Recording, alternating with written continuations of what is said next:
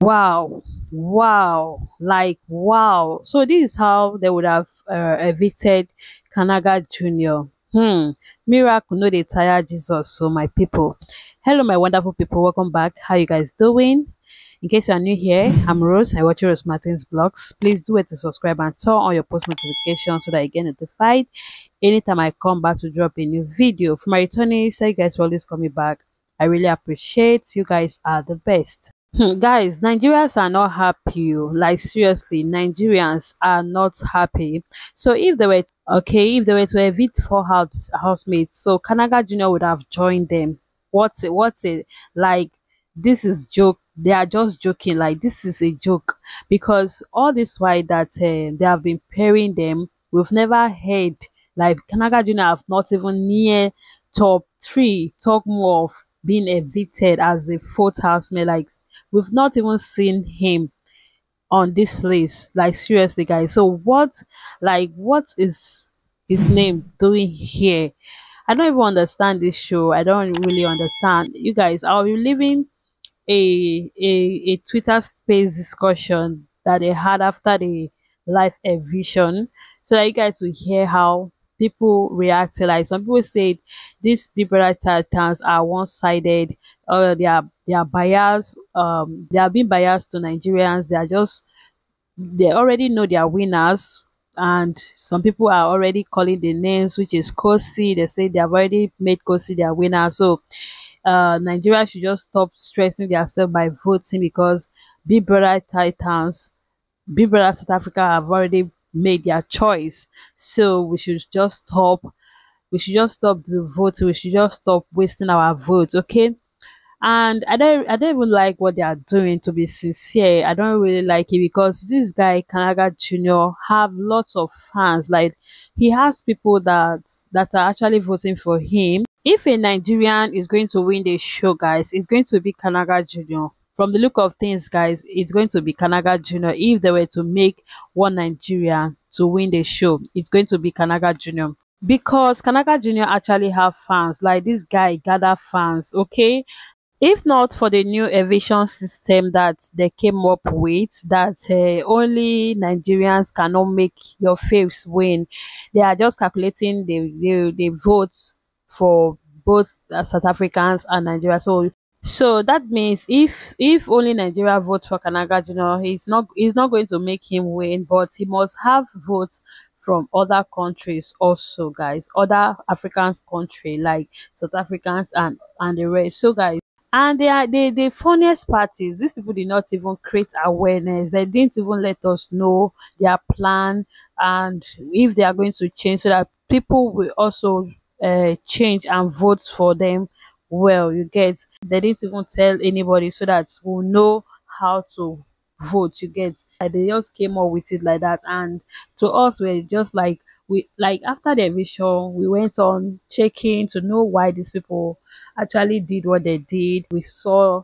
the whole thing that uh, uh, the, it's only uh, Nigerians will not only make your faves to win and blah blah blah. Like they say, Nigeria, South Africa, and rest of Africa, including Nigeria and South Africa, guys. So, uh, like if Nigerians, if Nigerians vote more for Kanaga Junior, it's not going to, it's not going to make him win. But they are calculating the votes, both Nigeria and South Africa, and uh, some African country like that. So it's not only going to be only Nigeria that will make him win, but other countries. That means they are telling us that other countries are not voting for Kanaga Junior guys. It's only Nigerians. Ha! And this thing was just announced to us today, like the eviction day, like the day the eviction. I don't know when I'm going to post this video. Maybe uh, uh the Sunday or Monday morning. So any day you see it, okay? Because it's uh, it's already late, guys. So uh okay, it's even that that very Sunday of eviction. That was when we ourselves noticed it that it's not only we like I did find this. I came to realize that so these people said it's not only Nigeria that will make our face win, that other country have to vote for them. Now, wow, these people sharp. Hmm. I would have said uh, these people are not trying, no, because Ebuka is there to speak for us, right? And, and I think that's why Ebuka is there to speak for Nigerians, but I don't know. because this one that they will just make changes to their they will just change something and they will not even let viewers know. Viewers that are the one voting they will not even tell them that they have made changes so so that people will know what to do. You get? Uh, they will just allow people to vote or before they will not come and tell them that uh, they did their vote did not was not counted for your face because uh, it's only you people that voted the other people did not vote and uh, it's not making sense. So you guys people are really angry people are really really angry guys. Some people some are even like saying that these these big brother uh these big brother titans are using nigerians big brother uh, south africans are using nigerians to get to get votes to get views and all that. So i'll just leave uh the twitter space gist so that you guys will hear what people like people were actually pouring their mind. They were actually angry and they were saying a lot of things. So you guys need to watch uh listen to the end. And as, as you're watching as you're listening please uh give this video a thumbs up. Leave your opinion in the comment section. Don't forget to subscribe. Turn on your post notifications so that you get notified whenever I come back to post a new video. For tag, uh, Kanakti shippers, your faves, Kanaga and Takti are safe, guys. So this week we still need, like, we still have them on our screen. We, I will still be dropping updates about your your lovers, okay, your your faves. So you guys should just stay tuned, okay.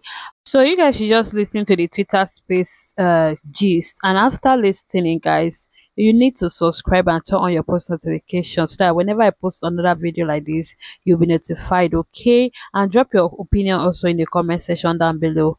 Alright, see you guys in my next video. Bye for now. In short, you, will hardly get to any country that you will not find in Nigeria. Now, this is not me trying to criticize South Africans. Judging from using the housemates as a case study and from the utterances I've actually from them, South Africans are people that, that, based on what I see on the show, and I'm using them as a case study, you guys, from what I've observed, don't like don't like mixing up with other people. You don't really travel that much. Thabang has ever been outside South Africa. Same thing with Ipeleng. I'm same thing, same thing with other housemates. So definitely, if you're not the type that actually tries to know people or gets to know people, you will definitely. You definitely love each other more than people that actually want to know other, other people and know other culture. So Nigerians, to an extent, are more welcoming in that aspect. Nigerians will accept you regardless of your culture. And that's why you discover that a lot of Nigerians are supporting South Africans. But the same thing cannot be, is, is not applicable to South Africans. And this is not me insulting you. I'm just say, saying that as it is, based on observation. And I'm using the housemate as a case study. There are instances we have in house that even, even South African housemates find it difficult to actually bond with their Nigerian counterparts. And this that doesn't mean that they must bond. It doesn't mean that they, it's a must for them, but it is just an observation. So all these things puts Nigerians at a disadvantage because while the while Nigerians will be willing to actually support people from other countries, the question is: Are South Africans actually willing to do that? Looking, observing from the nature and the nurture and this is, like I said, most things I'm saying is not, it's not based on cooking, it's based on facts. Observe the housemates in the house. You will see those traces. Ipeleng said it. She she doesn't think she will uh, she wants to come to Nigeria. Which which of those housemates that is in that house that's from Nigeria that we actually utter such a statement? We we love people generally. That's who we are. That but that doesn't mean that uh, South Africans are bad people. No, no, we are wired differently the way we behave, like the behavioral pattern of each culture of each country differs. That doesn't mean that South Africans are not amazing people, but they just love to live in their, their that confined space. And that's my point. All these things put Nigeria at a disadvantage. Nigerians will support you because that's what we are. But are South Africans ready to do that? And then the, the last question that I really want to ask you said this show is about South Africans and Nigerians. Two people. Now, why are you not making it that people from other countries should now determine who is going to win at the end of the day? Why? On what basis? Because if, if you're using BBA, BBA comprises people from different countries. Now it is just a country. So why using that point? Why why are you bringing that point thing into play? Why are you doing it? And like I said, we have been complaining about narratives from day one, how they've actually uh, pointed painted some some some housemates housemates in bad light. We have been complaining about narratives, about screen time from day one. The fact that Khosi fight on that show, I think now it's making sense. The fact that Khosi fought on that show and they did not hear it for viewers, now it makes a lot of sense because they have been trying to like uh. Uh, I'm sorry for using Khosi because it's one of your truths. They've been trying to pamper and, and project her in a good light for, for the viewers. So they have been planning this thing from day one. Now it makes a lot of sense why they didn't show the fight of Khosi. Because when you're trying to paint a, a very good narrative for someone and you are selling them to African public, this is what you get at, at the end of the day. This and, and that uh, guys, I don't lie to you. These guys literally played people. That's what they did. And there's there's no way you guys can even come on space to come and to come and make an excuse of this. Thank you. All right, thank you, Ayo. Thank you, Ayokunle. HQ, you can speak. Oh, okay. Wait, can you guys hear me? Yeah. Ah, as the conversation moved from the voting thing, because Jesus Christ, hands have been up for almost three hours. God, I don't know what what are you talking about now. I beg, I wasn't listening. if it's still about the voting thing, then I can. Uh, anyway, Sha, I wanted to even come here and support. There was a girl that was speaking before. I I when I put my hand up, I cannot remember her name again. It was Deborah or something like that about the press conference thing. Yeah, I went on YouTube to search and I saw I saw it.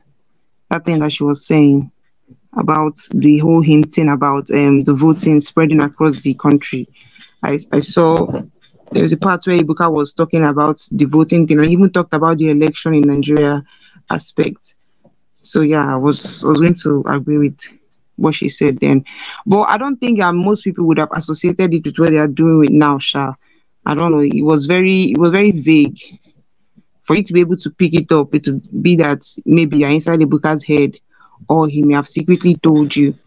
But there was hints, Sha, that they will spread it across you know the, the rest of Africa to get involved in the voting process. Honestly, that's that's all I I, I remember right now. It's been three hours. I'm tired. Uh, you guys can continue. All right. Um, Ayomide, you can speak. Okay. Um. Good morning, guys. Can you hear me? Okay. Um. Like I said, the whole the whole process is is just it's not it. I what I found out is this show is is just mainly for the South Africans. They are just using the Nigerians for this show. They've seen it, they've understand it, and when I got to the um points of this was when Yelis, that's Yemi, because I stand for Yemi, and I noticed how they played their game on him. I just lost hope on the show. Because how will you tell me someone has been trending? He has been trending from week one till I don't, I don't care when they even everything. He has been trending, and all of a sudden you just brought the card of top three, bottom three. Next minute is gone, and that's the same thing that is playing out for Kanaga. So I just see the whole thing like this thing. They are just using us. They want the views. It's not. They have their win already. They have their. They are just using Nigerians because they know Nigerians will enjoy this. We used to we used to hype things. We hype things too much.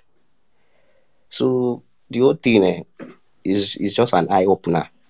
It's just an eye opener, and I, I just hope it, it doesn't happen to Kanaga. That's just the fact, because now it's coming out bottom three. How will you tell me Tati or Tasi? I, I don't know what's her name. Is having more vote than Kanaga. It's just crazy. To be honest, it's very very crazy. So they are playing their game well, but all good and said. The the the the, the show is hosted in South Africa. the production is South African. Ah, you tell me how, how how would they not play their game? They will. So it's all fucked up, man. I've lost interest in the show, Seth. So that's all I just want to say. All right, thank you, um, Ayomide. Empress T, you can speak.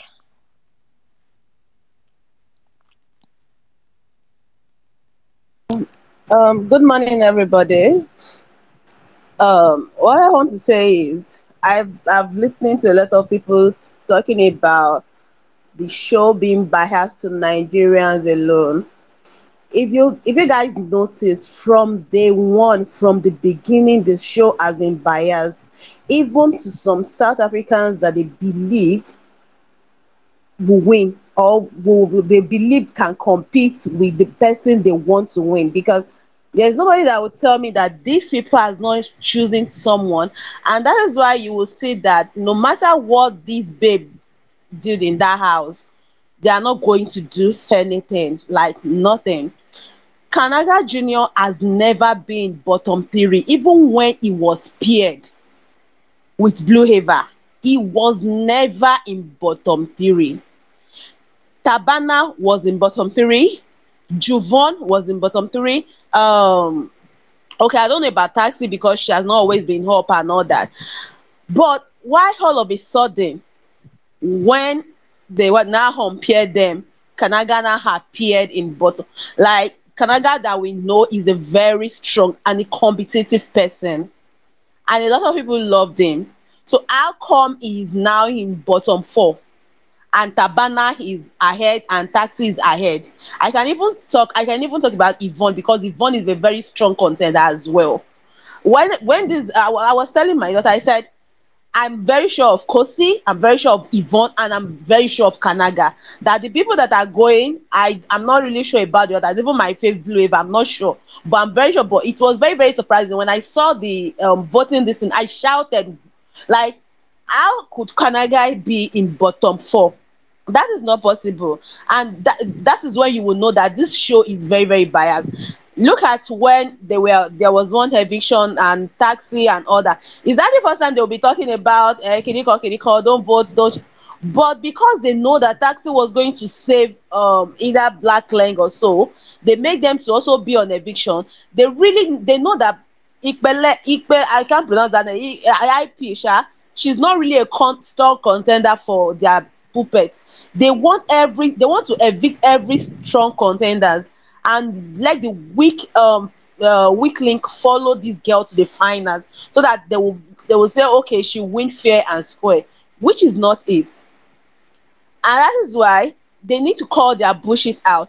And if you if the production you can even see if, if there's nothing anybody can see that they are not protecting this girl or they don't want this girl to win even because the production the handlers and everybody what they used to post on their on their timeline is nothing to write home about it shows clearly it's very very glaring that this is who they want to win from not giving him enough screen time from uh, like doing a lot of things that will break their morale, both Yvonne and Kanaga Jr., things that will break their morale in the house. But those just because those people are so strong, they can, but a particular um Sandler were like even um at uh, to the list they, they, they shaded the girl like trolled her. Even dstv DS, not dstv nigeria dstv south african like they wrote that caption in a way to show that they were trolling her or they, are, they were mocking her.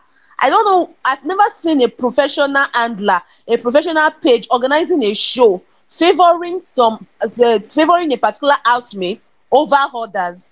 Even if you are biased you're not supposed to show it to people that okay we are biased. You're not supposed to show it that okay we prefer some people to some people or we prefer this babe to others. So i just feel like Kanaga still have that chance to win. Even if they say okay this is this is what they want to because you did not tell people f- since monday that they have been voting that they need votes from other countries like um gambia burkina faso or something like that to make up for the vote. It was until the eviction night when you have done whatever it is you want to do that's when you now put it there that okay this is how the voting was done. I expect people to know. And it won't surprise me on final you'll be seeing like the third and fourth. Everybody is saying uh, Khosi is winning, Khosi is winning. Sorry, I'm so mentioning it's not. I don't hate the girl. I'm not. I don't have anything against her. But the thing is, what has Khosi brought to the show that others have not brought? What has she done on the show that others have not She's she's following done? me now, kissing me, embarrassing herself. So others they refuse to do it, so they will not vote for them. So everybody should everybody should be given a free chance. Every the the reason why Blue Aiva was cancelled, they said she she collected um a, her boyfriend or something, and they were sneaking. Ah, is the bank not sneaking with Khosi to do things now? Did they cancel her because of that? No, because they already that is who they want to win and that is what they are putting all their so there is not there is no amount of the campaign you can do or anything you can say about the girl or any that is the winner. And that is the reason why they put kanaga in bottom four so that when that girl wins they'll be able to say okay the winning is free and fair. But i just feel like it is not too late for and i'm a blue i'm a, I'm a blue diamond but i am supporting kanaga and I'm very sure that a lot of people supporting. It's not about. It's not. It's, this is right now. It is not too late. People should not relent and say, okay, uh, since our vote will not count or kiniko kiniko, our vote will count. Let's at least try and gather vote from other countries like they say we should. We still have two weeks. We can do it, and I believe that if we put that effort, we will come out triumph. That is what I believe. Thank you.